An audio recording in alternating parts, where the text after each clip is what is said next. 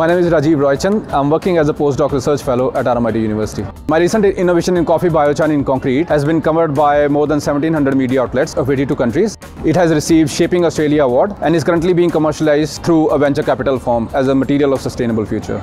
RMIT's unique ecosystem provides researchers with free access to the world-class scientific lab facilities, enabling innovation and research translation to deliver global impact, making them ready for what's next. The construction industry is facing a dual challenge of long-term sustainability and high carbon footprint associated with concrete production. Our research transforms different industrial byproducts and waste materials into low carbon and sustainable concrete, supporting closed-loop circular economy. With this technology, we are accelerating the emission reduction targets of going carbon neutral by 2050.